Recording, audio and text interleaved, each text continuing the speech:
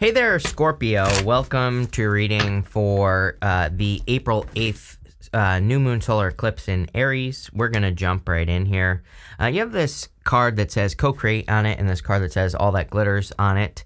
So I would make sure that you're seeing the truth in of the of the matter at this time. There, I mean, we're in a time of truth, and you know, I think that we're going to see a lot of truths being exposed anyway. So, you know, you might be seeing the truth of a situation in your life or how, you know, something is going to go or, you know, whatever the case may be here. And, you know, but I would make sure that you're like not ignoring it uh, with that card. Not that you would, but, you know, I'm just saying make sure that you don't, right? Uh, I also feel that it's an amazing time for co-creation. So anything you can do uh, to work together with other people is, I mean, are you kidding me? Look at that. that looks amazing, Scorpio. Uh, anything you do to work together with other people is going to lead to a lot of success. And again, we are in a time of co-creation. So anything, you know, anything that you can do um, you know, in, in co-creation, by the way, I like to remind people that it doesn't even mean that you have to like work together with a person. A person. Co-creation could say that you are, uh, you know, putting something out into the world. Like if you're creative, or um, you know, if you do YouTube videos or whatever, it's like when you put something out into the world, you are co-creating. You are, um, you know, putting energy out and uh, for people to take advantage of or to use in some way, and that is a form of co-creation. You have the Five of Cups here.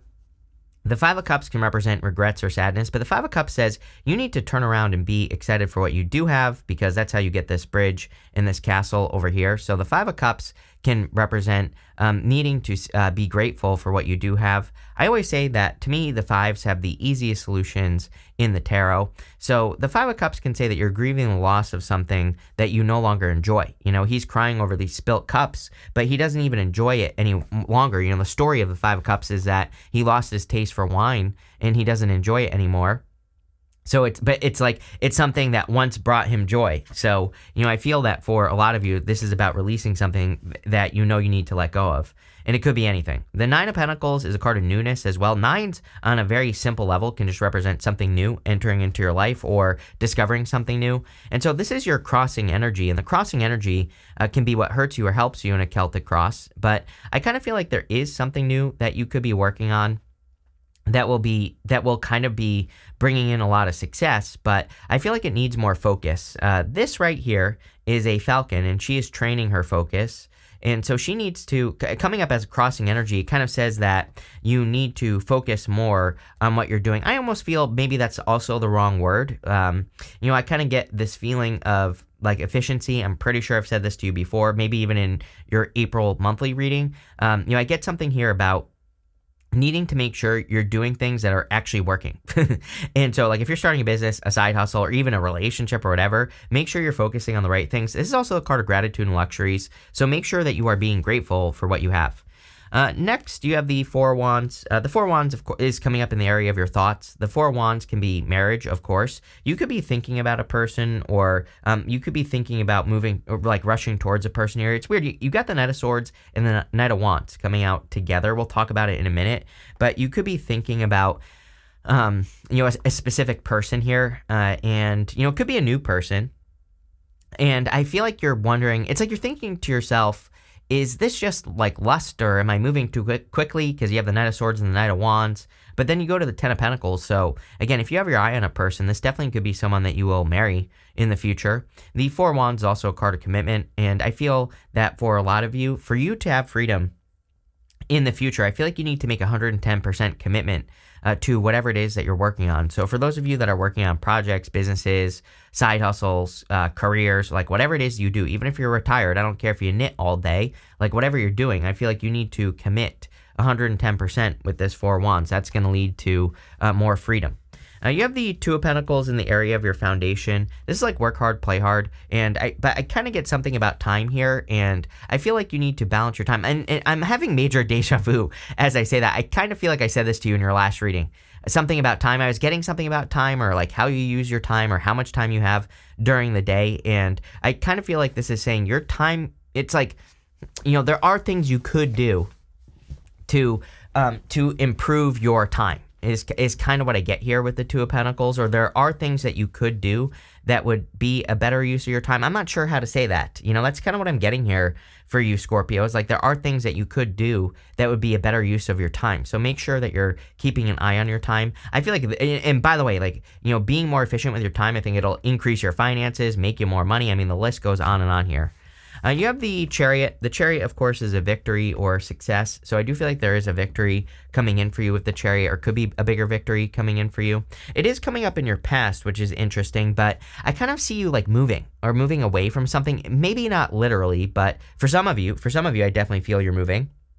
But the chariot, he's leaving behind the city behind him behind, and he really doesn't know where he's going. The the story of the chariot is that he is in perfect alignment. He has stars up here, moons right here. It represents as above so below. So he he is energetically aligned with what he wants. He and he is trusting the universe is guiding him in a new direction. So I kind of get like a little bit of hesitation here where it's like you could be hesitating if you were thinking like, "Oh, I need to move," or uh, you know, "I need to make a change," or "Go get a new job." But I almost feel like for I kind of get a weird message here. It's almost like saying to me, um, that you should not be hesitating. That you should just make them make a move that you think that you should be making because you're right is what this is saying. It's like it's it's almost like saying that you are there's nothing to not trust because you are in alignment. You know i hope i hope that makes sense. Uh, you have this koi fish spirit says there is always enough. You have this buffalo spirit says the abundant universe will provide so if you're thinking about doing something in your life and you're worried about it, I feel like there's more than enough abundance that will be coming in for you, or that you'll be creating more than enough abundance. I feel like you'll also be creating uh, more than enough success in your life with the with these energies. Um, you know, if you move, start moving in the right direction. So I kind of feel like this is saying that there's like a lot of success that's coming in for you uh, with these energies. I also feel like there's like a lot of growth coming in for you.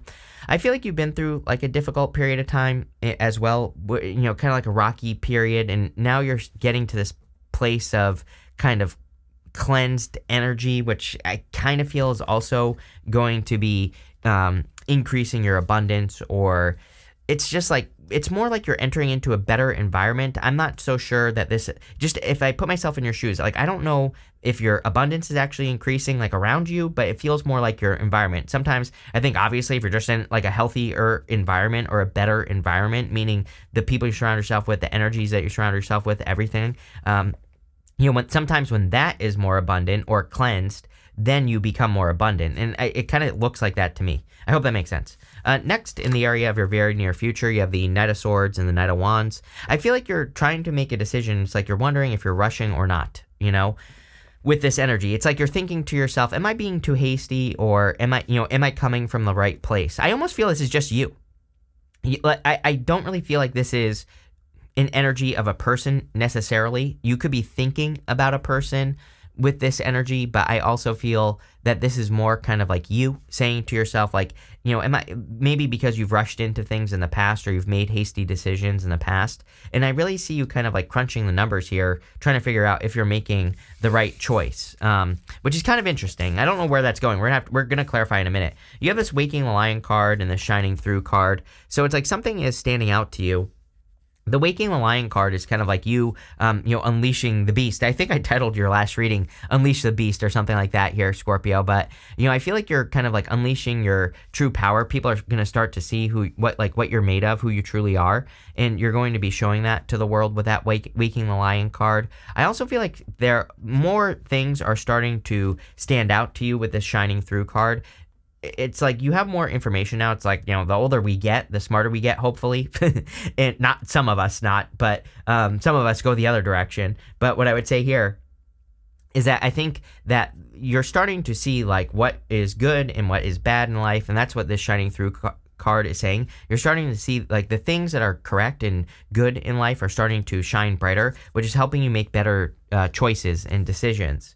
And in the area of your next few months, you have the Ten of Pentacles. Ten of Pentacles is everything you want and desire in your life. It is the tree of life. It is you getting everything you want and desire in your life. So it's an amazing card. And I feel for a lot of you that you could really be building and leaving a legacy. I even feel some of you, I don't really see a person here, although I do feel like some of you have a person on your mind. I feel this person comes from, is like, comes from a very different world than you, Scorpio. It's like, you know, one person in this connection is a cheetah, the other one is an owl. You know, it's like, I, I literally see this in my head. So for those of you that want love, I feel you could be attracting a person where it's like, yeah, there are some big differences here, but I don't know. Like, I kind of also feel that you fill in each other's gaps. It's like, you know, where they're weak, you're strong. Where you, where you're weak, they're strong. It's like it's almost like this is, you know, even though you could be attracting someone that is like very different than your usual type, or you are very different. I kind of feel like you complement each other uh, extremely well. So there definitely could be a person like that coming in for you.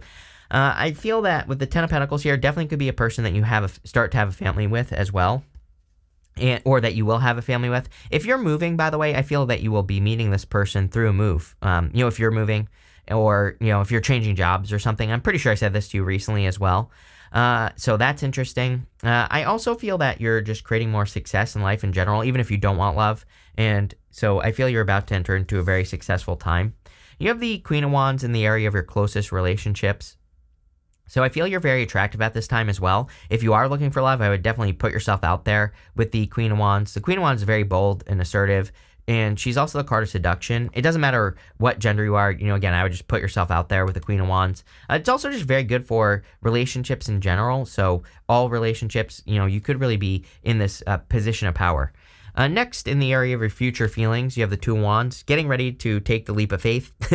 I, I just, I kind of just feel like you are getting ready to take some sort of leap here. He has the whole world in his hands on the two wands, but he has to like take a leap of faith and get out into the world. And that's what I feel like the two wands is saying. Like it's time for you to take that leap of faith. It's time for you to like step out into the world and kind of like make something happen here. And that's what I see with this uh, two wands.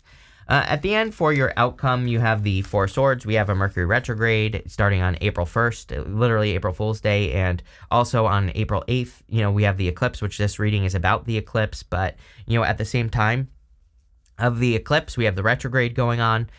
And so I would say, like, take as much time as you can or need to uh, for resting, relaxing, recovering. Retrogrades are always great for healing, um, you know, uh, resting, relaxing, recovering, you know, all that other stuff. So I think it would be an amazing time for you to do that with the Four Swords. Uh, you have the Hierophant in the Six of Swords. The Hierophant is a card that could represent marriage or blessings coming in for you. Six of Swords about moving on to calmer shores. I kind of feel like you're in the home stretch, is what I feel like saying, Scorpio. I feel like you've had, like, experienced a lot of loss. Um, you know, like I said, I feel like it's been rocky with that Buffalo Spirit. I was kind of getting that You've been through a rocky period of time, a lot of on off energy as well. Eh, maybe even to the point where you've been working, you've maybe over the past, like past couple years, you've been working on projects. It's like they get turned on and off, is how I see it in my head. You start working on something, it, then you stop. Then you start working on something, and then you stop. I feel that the Six of Swords is saying you're kind of like in the home stretch of that stopping and you're finally able to like work on things and continue to work on things in your life, whether it's your health, a business, your career, relationship, whatever. It's like you're finally just on and I feel this is going to feel really good. And this eclipse, I actually feel could be the thing that is turning this on. You know, it could be the thing that is allowing you to continuously work on something. I feel like the Hierophant could be talking about marriage or blessings coming in for you as well. So let's clarify through here and let's see where this is going. Uh, with the Five of Cups and the Nine of Pentacles, you have the Eight of Swords. Uh, Eight of Swords is self-imposed restriction, needing to set yourself free. I do feel like there are things, like I feel like there are restrictions in your life here, Scorpio. Like I'm not going to sugarcoat it. um, you know, I don't know. I like the best way I could put this is it's almost like there are things you want to do, but you have children, right? Maybe you do, maybe you don't. I'm, I'm just I'm just giving you an example here. It's like maybe you want to date, but with children it's hard. Maybe you want to, you know, start a business, but with your children it's hard. Maybe, but it might not be children. It's like you know maybe you want to start a business but you don't have the money or maybe you want to start a business but your child is is your current job that takes up too much of your time so I feel like the Eight of Swords is saying, yes, there are restrictions that you are having to deal with at this time. Uh, so let's see how we can kind of move past this. With the Four of Wands, you have the Nine of Cups. Nine of Cups is like wishes and wish fulfillment. So really good. Uh, also, the whole entire reading really tells me that you are you are in proper alignment. You know, the chariot is a victory. The nine of cups is also kind of like getting something that you wish for. So I kind of do feel that there's a little bit of wish granted energy, but it's because you are in alignment with the things that you desire, which obviously is a good thing. With the Two of Pentacles, you have the Six of Cups. Again, I feel like you have to release something from the past for sure. uh, could be a person, could be a situation, whatever. Uh, especially with that Five of Cups. Uh, the Six of Cups could also be children.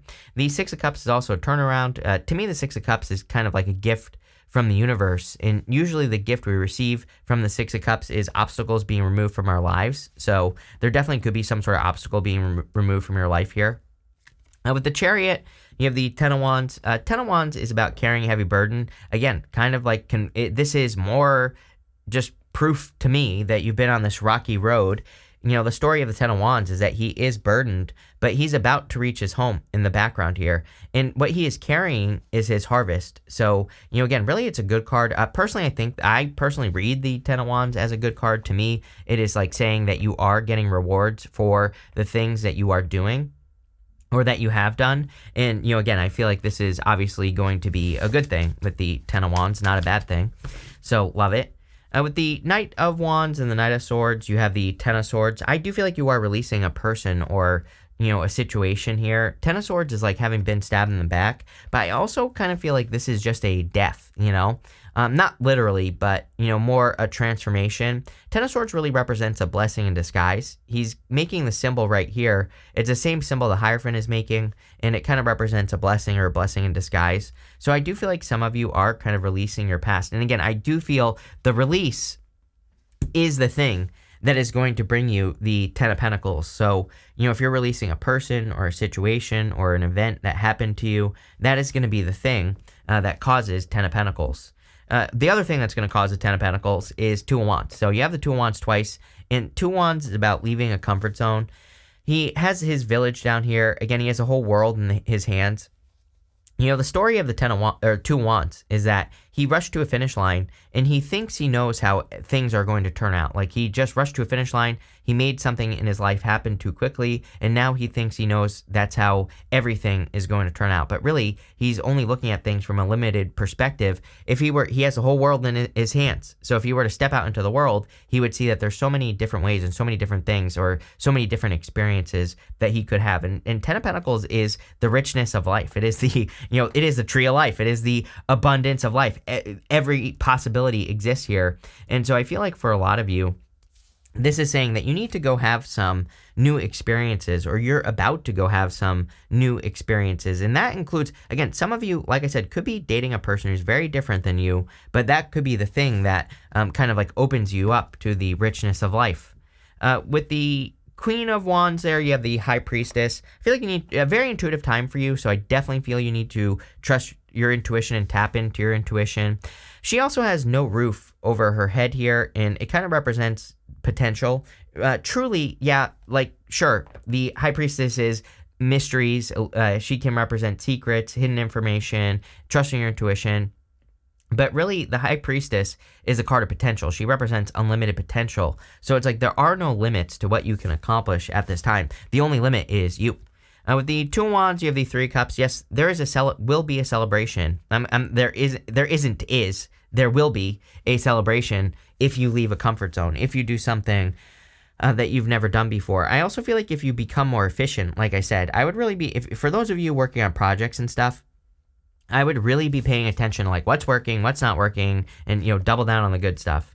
Uh, with the Four of Swords, you have the Page of Wands. Page of Wands about going on an event, like a new adventure. So I feel for a lot of you that you could be going on some sort of venture here with the Page of Wands. And I feel like this adventure is going to be leading to a lot more success. I really see you kind of like leaving your area as well. Like, I'm not saying that you have to be moving, right? Um, here, Scorpio, but I do feel if you are moving, that that that could be very successful for you. Um, but you could also just be kind of, um, you know, expanding your, broadening your hori- your horizons. Let's put it that way. Uh, you have this harmony card, so I feel like you want more peace and harmony in your life. I actually feel like you feel there's there is more peace and harmony entering into your life here, so that looks good. You have this eccentricity card. I'm telling you right now, I, I really feel that you are attracting someone very different. it could be someone who is very eccentric, uh, who lives life a different way or something like that. So that's standing out to me. I also feel like you need to embrace the things that make you unique and eccentric. And I think that will also, you know, it's like you need to shine your inner light here. You have the submission card, and this card is like the Eight of Swords. There's this bird here, and it's trapped in this cage, but that cage door is open. It basically says that you could be keeping yourself stuck in something that you don't need to keep yourself stuck in. So, you know, again, I would definitely remove yourself from anything that you're feeling stuck in here with that uh, submission card. Uh, you have this enterprise card. Yes, I feel it's an amazing time for money for you and earnings and business. So if you have a business or career, whatever you're working on, uh, I feel that there is a lot of success for you in those areas of life right now. And so anything you can do to be enterprising would be a good idea. So like anything you do to like grow your business, to improve it, to expand it, you know, that's what I'm talking about here with the enterprise card. So I, you know, I would work on all of that basically. Uh, and finally, you have this convention card. Yep. Uh, it, every single time, you know, this is like the one thing that's going to keep you fixed sign stuck. it, not not calling you out, but totally am. Convention is the way things have always been done. So whatever you're working on, or even in love, you know, or business, or your career, or your health, it, convention is the way things have always been done. So you have to break free from convention with this card. And this is a card that basically says there are many ways to do everything that you want to do in life, but if you're only seeing one way, then you're stuck. So I would be flexible at this time, but uh, this is a really good reading. I like where this is going. I think that there's like abundance and success coming in for you here. So thank you for being here and definitely enjoy your